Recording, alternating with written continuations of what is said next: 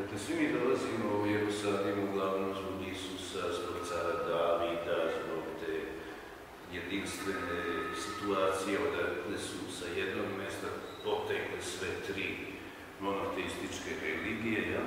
pomalo zaboravljamo da to nije samo grad Davida, niti grad Isusov, nego da je to i grad Device Marije.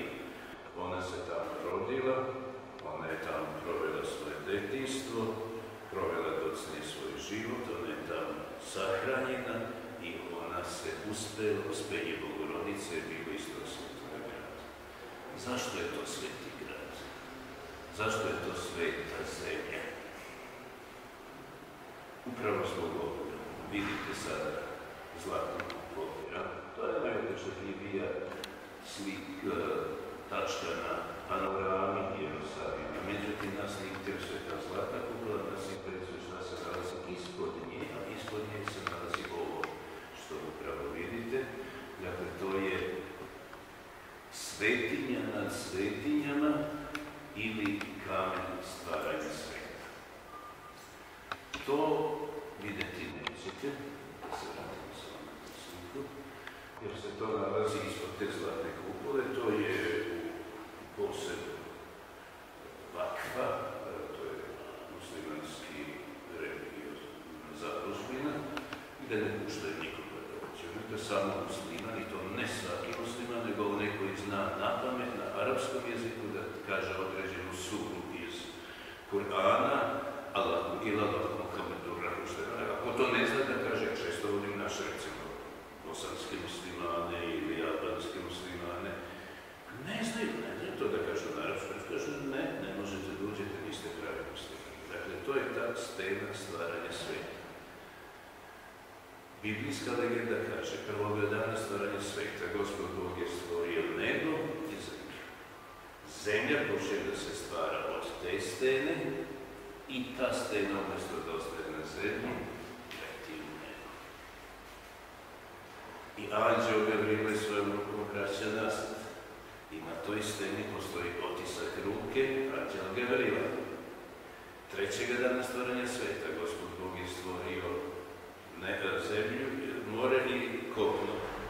Ta stena je prvo kopno koje je izašlo iz mora.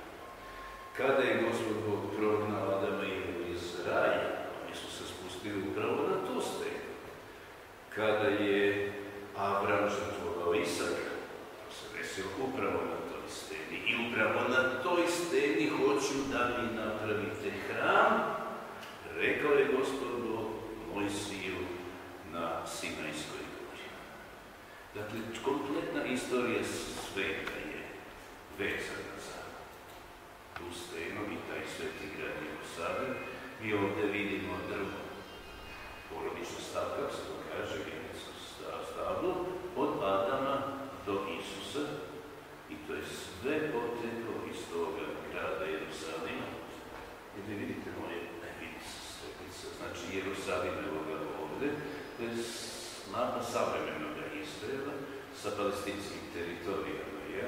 ali ona doba niti je bilo granica, niti su bili takvi narodi tamo.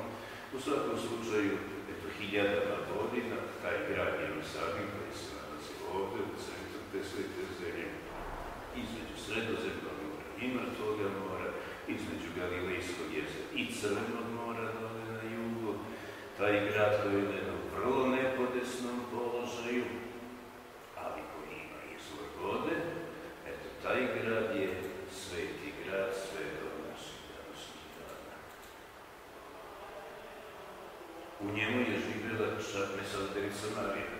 Piše sa i da Marija, vidite, to je sveta baba, mislim, dakle Marina, baba, kako to ide se Znači, Marina, mama je bila Ana, Anina mama je bila također Marija.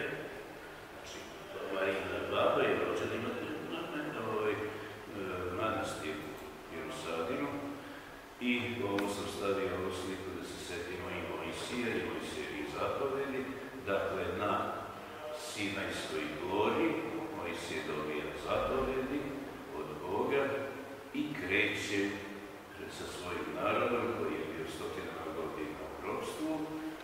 kreće prema svetome gradu, prema toj svetoj zemlji, gdje su oni ovdje se vratili u tu svoju obećanu svetu zemlju. Dakle, u tome gradu se dešava, to je jedno od najvećih čuda.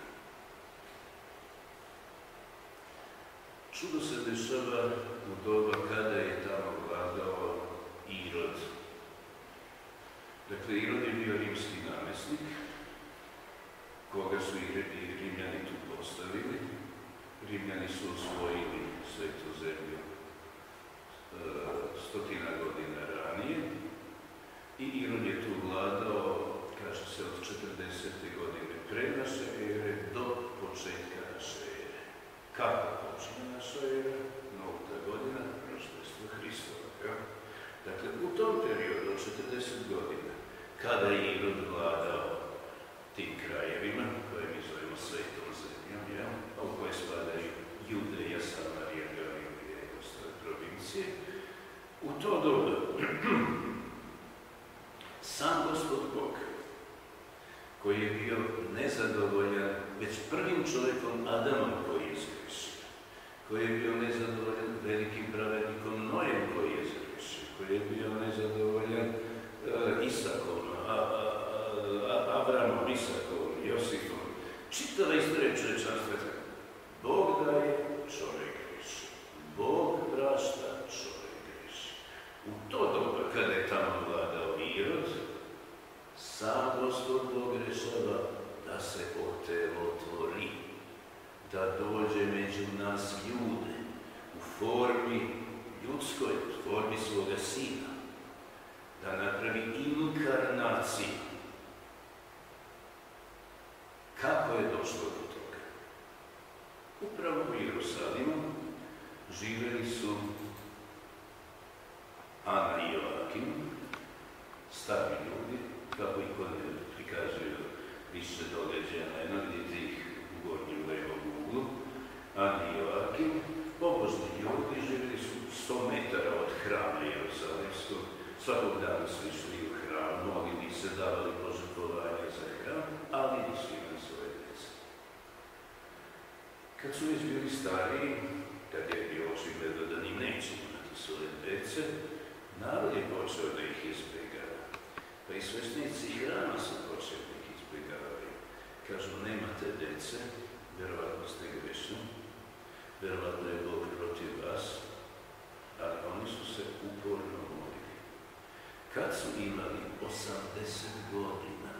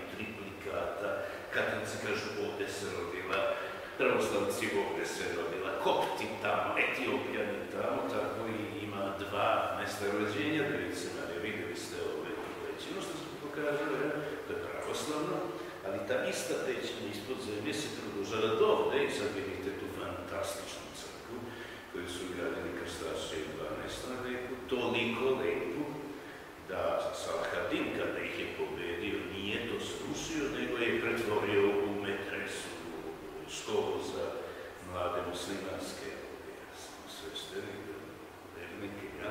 tako da je to ostala sačuvana. Nad tom pećinom s jedne strane je pravoslavno, sa druge strane po katoličko, to je katoličko kad se spuštava vidite deo te pećine koju smo gledali tamo sa pravoslavne strane i tu se nalazila divna skulptura, ne znam tačno autora, gdje se vidi mala Marija sa svojim starom malom Anom, koja ima 80 godina kad je rodila. Tu se pored toga nalazi i to čuveno mjesto iz Isusove, Isusove biografije iz Evanđelja, to kako se našem jeziku kaže, vitezda ili tako, bet, zeta, bet, zeta se kaže, bet znači dom zeta, šta je zeta? Aramejskom jeziku zeta znači maslina. Mi danas kažemo zejtin zeta, to je taj koren, jel?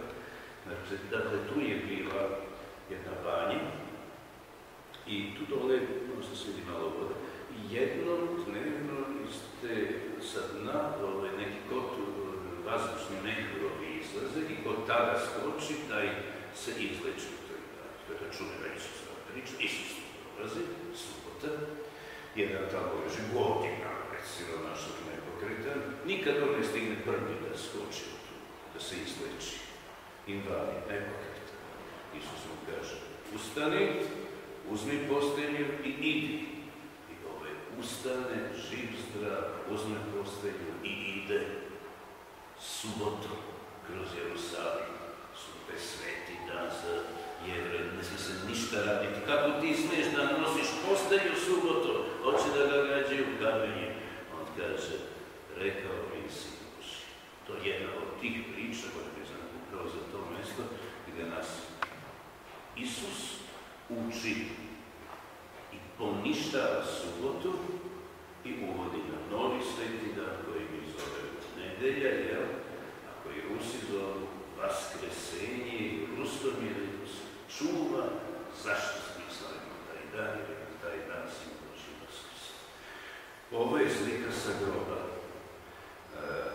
Ani i Joakima, to je velika grobnica u kojoj čerka Marija, jel? To je u 12. veku u dobu kraljice Melisande rekonstruisano.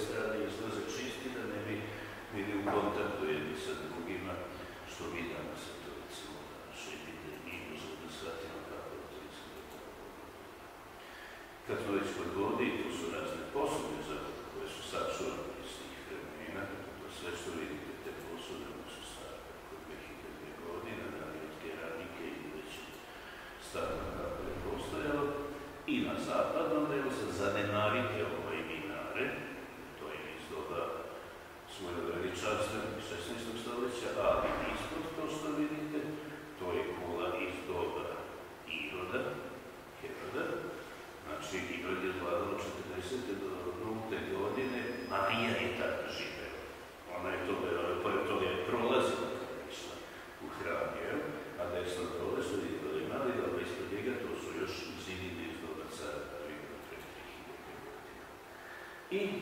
jednom mjestu gdje ona svakako bila, to je grobca Davida koji se nalazi na Silonskoj gori, to je takozvana gornica, to je za nas vrlo bitno mjesto jer je to Sveti Sava Rastko Njemanić 1219. godine otkupio od Saracena, kako se tada govorilo, tako što je na svaki kvadratni santimetar ove prostorije stavio po jedan zlatni dukat, vidite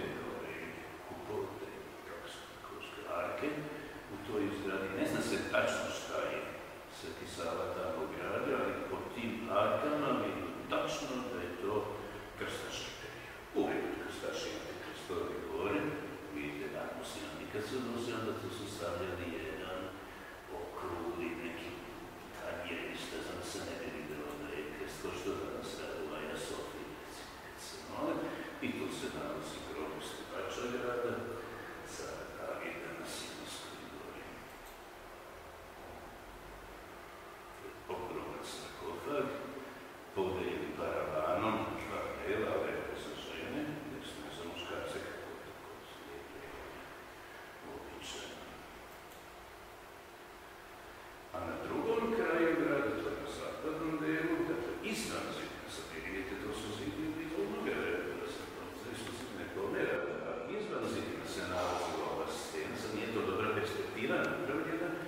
stena gdje liči na lobanju, pa se kaže Galgolet.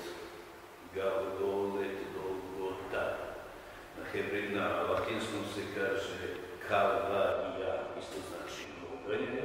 Dakle, ta gola stena je bila stena gdje su Rimljani vršili egzekuciju, tu su Isusa na krstu razapeli, tu je Isus umro, tu se ispod toga nalazi pećnica u kojoj sahranjen i se dana naskrsao.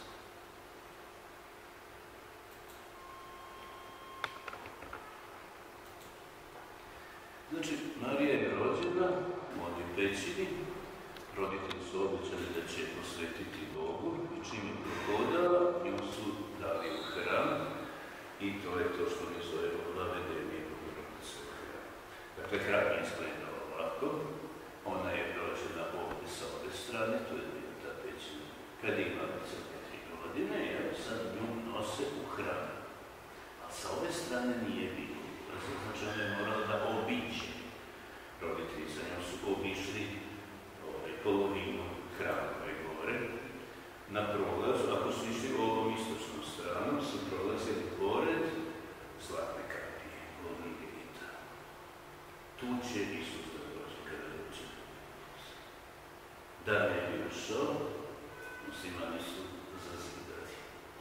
Postoje Isus iz roda cara Davida, ja, Koen, na koje se odnosi ne, ne 613 Bože zaprosti, nego 1500 zaprosti hiljada Koen ne sme svojom nogom da stane na groblje. Muslimani su tu stavili svoje groblje, da ne bi Isus da dođe. Evo kad prošao.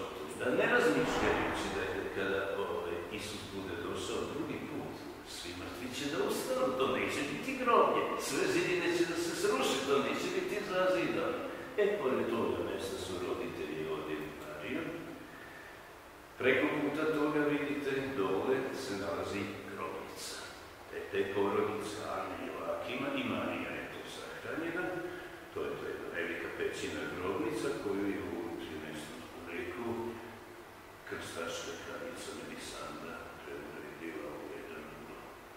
dos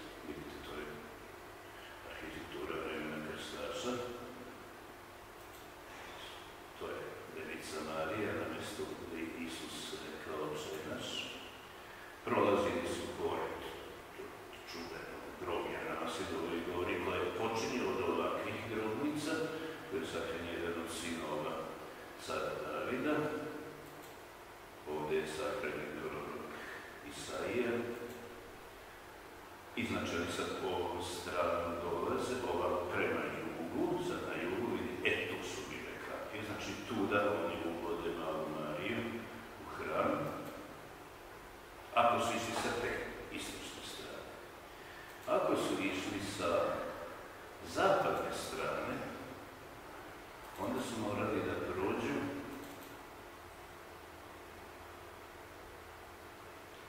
Sad, sad vidite to, to, to ostaci hrama koje su 70. godine Rimljani uništili za vreme Tita, to sad. Dakle, ona je dolazila sa te strane, može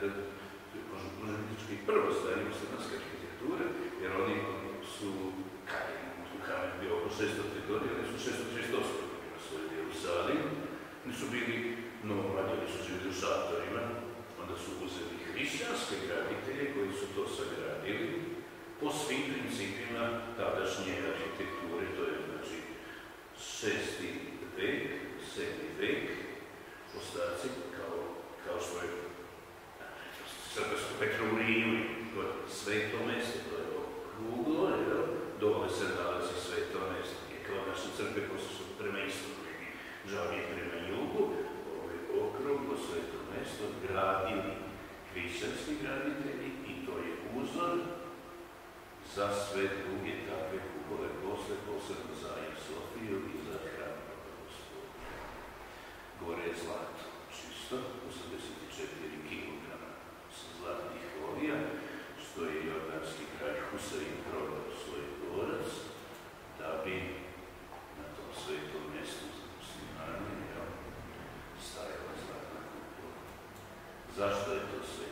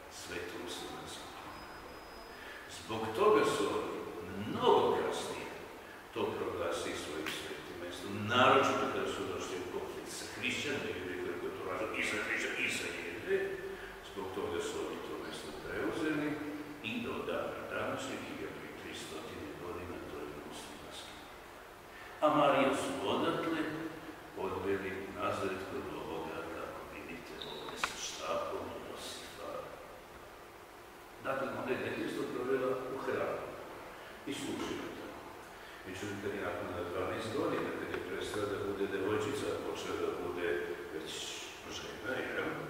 A žena ne zabranila da bude u hramu, onda su je tražili mladosti.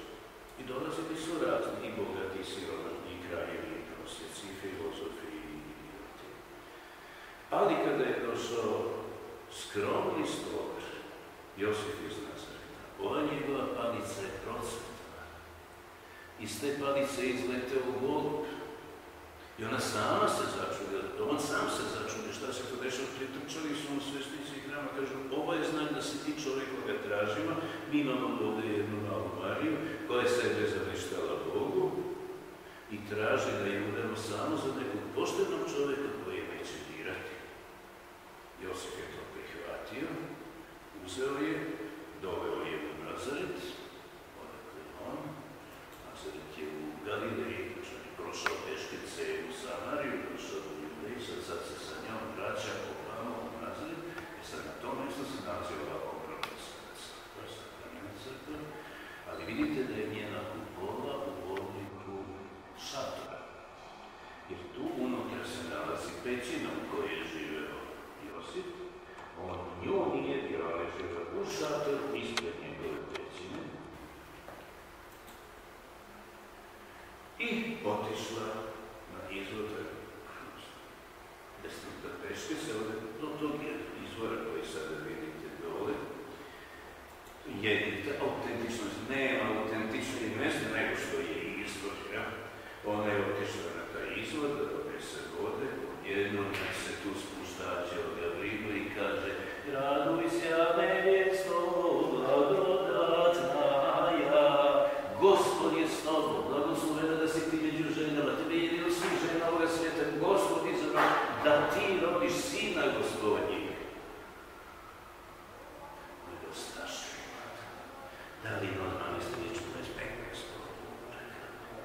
Da je to prihvatio, rekao je,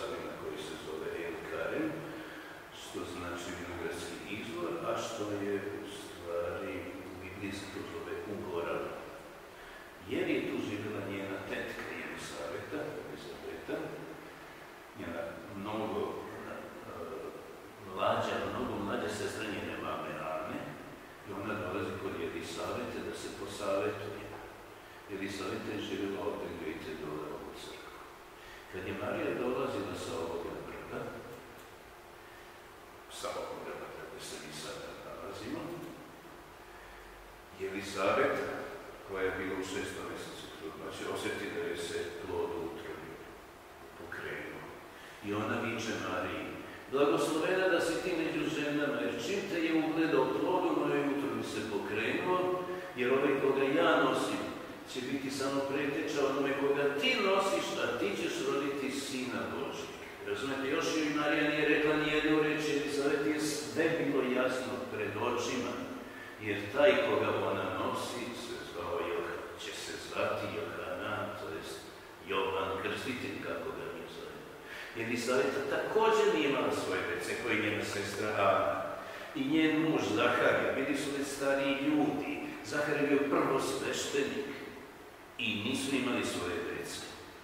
Samo prvo sveštenik, samo jedan dan u godini sme dođe na svetinju na svetinjama, gdje je hran, jel? I to ga još režu konopcem za nogu, ako se nešto desi da smeju da ga izvuku, niko ne sme dođe tamo, samo prvo sveštenik, samo na taj dan. I kada je Zaharija ušao na taj dan, se moli Bogu na, na taj Jom Kipur sudnji dan, Spusti mu se anđeo Gavrilo, kaže, Zaharija, tebi će li savjeta da rodi sina.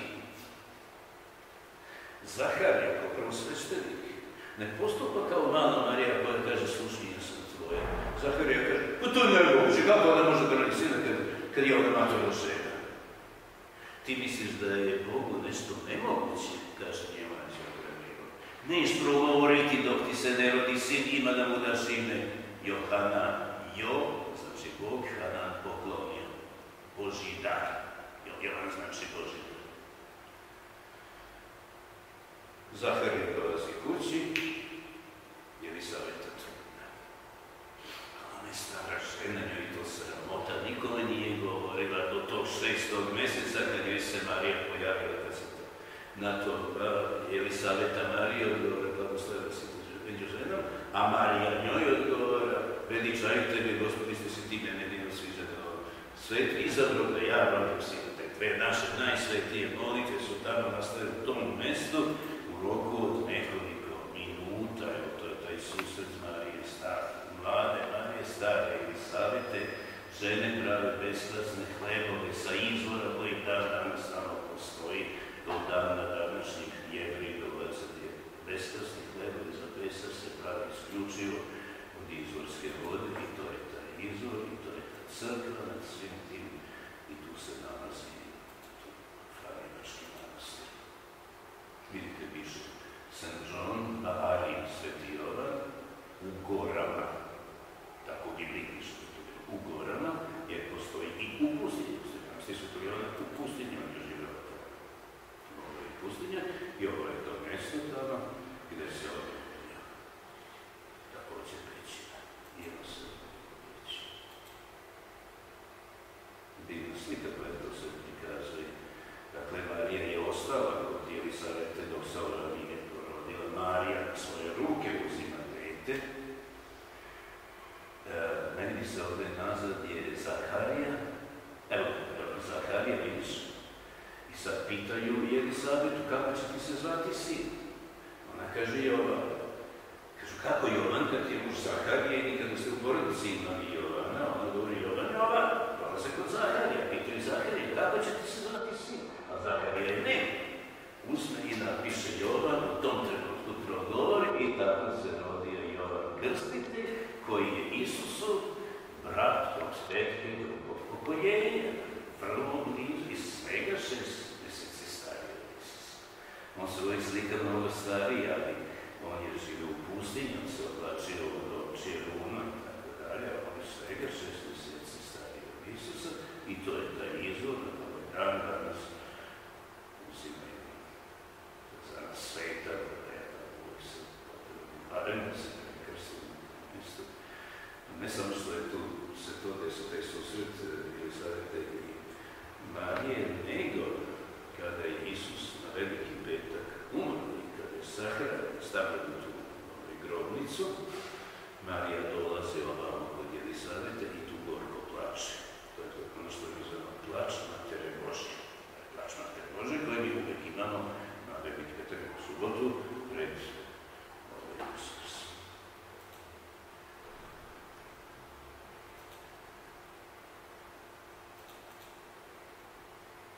Marija je živjela sa Josipom u mislim,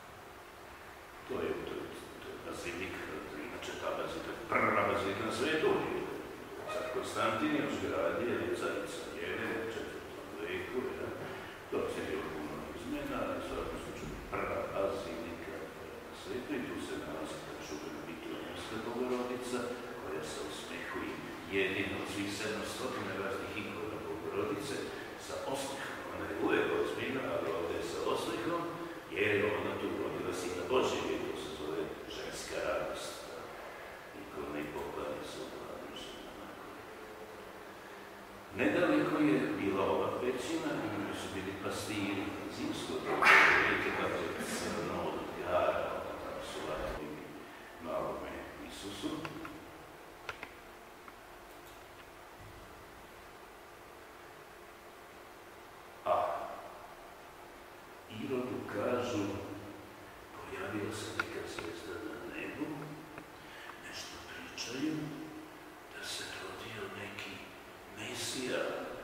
sim, hoje.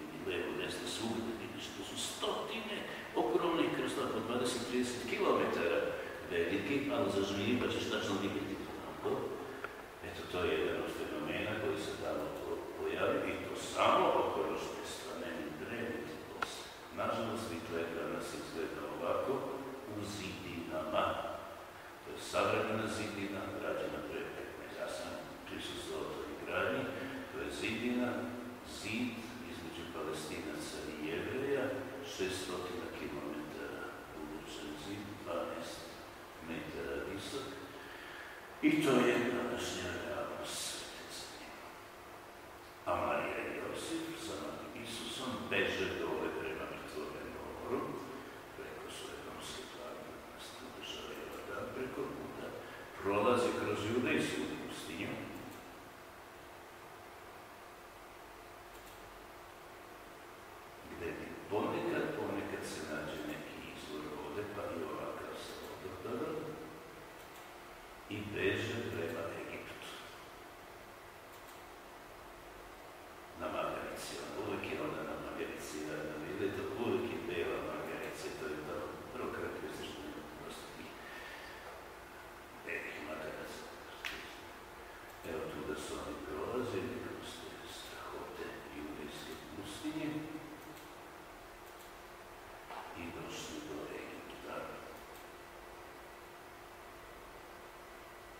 i ja ću sad prekinuti. Jednostavno narod čeka, pa ću ti do, do godine nastaviti. Hvala ti zaista na lepom predavanju i radujem se ponovno se crte s tobom i sa tvojim pričama. I da nam pričaš o cijekom Savi kako je. I ono mi došliš ti da dođeš kod mene u Gosteli, ja proredim sa celom familijom i dođi sa osobom